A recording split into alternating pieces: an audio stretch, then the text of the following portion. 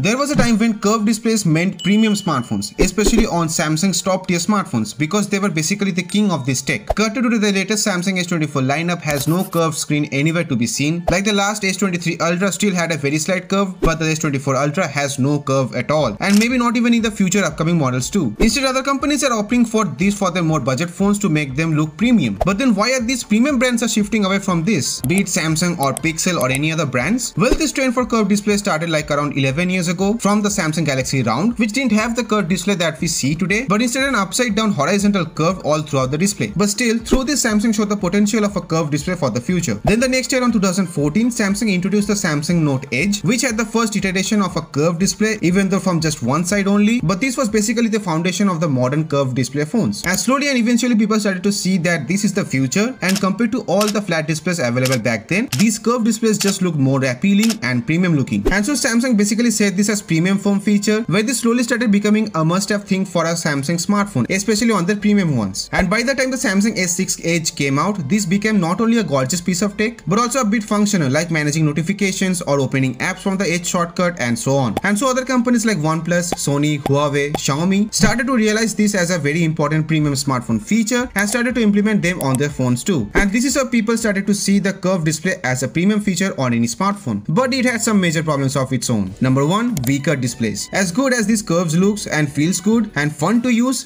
these are way more prone to getting damaged especially after an accidental fall as compared to any traditional flat displays. Even though it has a coating of the best Gorilla Glass display protection or even a good case, curved displays has higher chances of getting damaged as compared to a flat display. Which leads to the next big issue, expensive glass repair costs. Which means after breaking if you try to replace the glass, it will cost you way much more as compared to replacing a flat traditional display as curved displays still cost more than the flat displays to make and so the replacement cost and the service charges are also much higher on those. Number 3. Limited accessories or costly accessories. And what I mean by this is that even today, it can be a tough job in finding a good and cheap screen protector for any curved display phone. Like for a flat display, you can just slap on a 50 rupees or a 100 rupees screen guard and call it a day. But whereas for a curved display phone, first of all, you barely could find a good tempered glass for around 100 to 200 rupees. Yes, you could get those thin cellotape like screen guards, but they are barely scratch resistant, let alone drop or pressure protection. For a good curved display glass protection, you have to spend around 300 to 500 rupees for an UV tempered glass or even above that, depending upon the phone you're using. And that too could also turn into an horrific event if you try to replace it. And even after that, it is not like it is gonna protect your phone from fall damage as be it flat or curved displays. Most screen protectors are for protecting your screen from scratches or pressures only. Now, not only curved displays were fragile but also came with annoying bugs which slowly and steadily not only phone companies but also the users also started realizing. One of them was accidental touches, where due to the curved size, people were accidentally touching the parts of the screen which they never meant to. While this has been reduced heavily on modern smartphones using a curved display, but it still happens especially while playing games or even while watching content. Along with this, you get those light glows especially if you're using your phone in a well-lit condition or worse outdoors under sunlight which could be distracting along with some green or blue color shift on some curved displays while seeing them from the sides. And number 5. Audience realization. Like people started loving curved AMOLED displays mainly as it looked seamless and edge to edge. But when other companies like especially Apple started trimming down their bezels on their flat displays even though it was Samsung who was doing it for them but anyways instead of using a curved display it just looked as edge to edge like a curved one. And there's no doubt that most smartphone companies follows Apple, some of them follows very heavily and so when Apple showed that we don't need curved displays for that edge to edge feeling, trimming bezels on the flat ones are more than enough, everyone started to do it as it was more reliable, cost efficient and also just made more sense and was more practical. Samsung or other brands did try to fix the problems of the curved displays but soon they realized that they were solving issues to the problem that they created themselves where the easiest solution was already there using flat displays. And so Samsung and including other premium brands are also shifting back to the flat displays and improving that tech rather than solving a problem that doesn't need to be solved. And yeah, this is the reason the industry is or might in the future move away from using curved displays on their phones. The budget companies or the budget phones are now using it to make their phones feel more appealing and premium and sell them in a large amount. And if something happens to the curved display, it will be totally up to you. These are the best smartphones ranked under 30,000 rupees or 40,000 rupees. Go give them a watch and as always, this was Rideep and see you guys. And sorry for the late video.